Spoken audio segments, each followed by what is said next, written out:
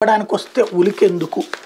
Telugu Desam party నేతలు వచ్చారని తెలిసి శంకుస్థాపన ఆపేశారు. చంద్రబాబు భద్రతపై ప్రశ్నిస్తారని ముఖం చాటేసిన మంత్రులు. జైలు శాఖ ఆధ్వర్యంలో రాజమహేంద్రవరంలో హెచ్పీసీఎల్ అవుట్లెట్ నిర్మాణానికి మంగళవారం శంకుస్థాపన చేయాలి. ఉదయం పదకొండు ఇరవై గంటలకు ముహూర్తం వైకాపా ముఖ్య నేతల చిత్రాలతో ఫ్లెక్సీలు పెట్టారు.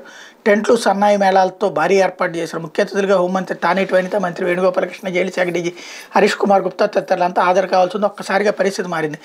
చంద్రబాబుపై ఆరోగ్యంపై వైద్యుల నివేదికతో కూడిన హెల్త్ బులెటిన్ జైల్లో భద్రతా వస్తువుల సందేహాలపై ములాఖత్పై ఆంక్షలు తదితర అంశాలతో కూడిన వింతపత్రాన్ని ఇవ్వడానికి వేదిక వద్దకు తెలుగుదేశం పార్టీ నాయకులు వచ్చారని సమాచారం ఉన్నతాధికారులు మంత్రులకు అందింది. వెంటనే గంటలు గడిచే ముహూర్తం గడిపోయిన శంకుస్థాపన మాత్రం జరగలేదు. అతిథులు హాజరు కాలేదు. శంకుస్థాపన కార్యక్రమం వాయిదా పడిందని యంత్రాంగం తాపీగా చెప్పింది. ఇది కాకినాడకు సంబంధించిన ఒక వార్త. దానికి భయపడి ఎవడన్నా పారిపోతాడా? బేసిక్గా ఏదో జరిగి ఉంటుంది ఒకవేళ భయపడి పారిపోయారు అనుకుందాం అంటే తెలుగుదేశం పార్టీ వాళ్ళు అంత దౌర్జన్యంగా చేస్తున్నట్ట? లేకపోతే అక్కడికి వింత పత్రం ఇవ్వడానికి వెళ్ళారు. ఇప్పుడు చంద్రబాబు నాయుడు దగ్గరికి వెళ్ళి అక్కడ శిబిరం దగ్గరికి వెళ్ళి వైఎస్ఆర్ కాంగ్రెస్ పార్టీ వాళ్ళంతా వింత పత్రం ఇస్తాము. చంద్రబాబు లాంటి వ్యక్తి బయటికి రావడం మంచిది కాదు సమాజానికి అని చెప్పి ఏమన్నా ఇస్తానంటే తీసుకుంటారా? ఒప్పుకుంటారా?